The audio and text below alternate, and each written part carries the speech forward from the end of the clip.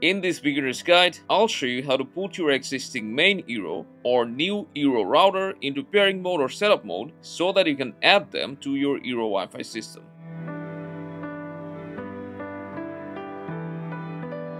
If you're trying to set up an Eero for the first time and if it's your only Eero, then for first time setup users, you just need to connect your Eero to a modem or a router and then turn everything on, then your Eero will boot up into pairing mode on its own which is indicated by the blue blinking LED. But in case, if it's a secondary Eero that you want to add to your Eero setup, then to put the secondary Eero to your Wi-Fi system, all you need to do is plug the power cord of your Eero into a power outlet and it will be in the setup mode from the get-go.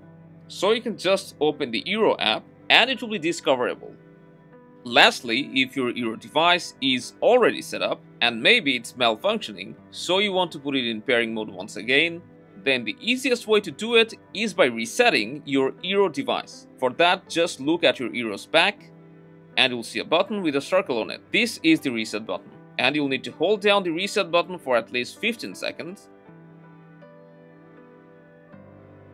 and while holding it, you can look at the LED and you'll see it will go orange and after blinking for a few times, it will turn red. This means your Eero is now reset. Then wait for a few more seconds and your Eero will soon display the blue blinking LED. So now your Eero is in pairing mode.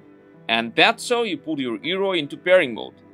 Now it will be discoverable by the Eero app. So now you can go ahead and set up your Eero. And that's all there is to it. If you found this helpful, make sure to drop a like and subscribe for more.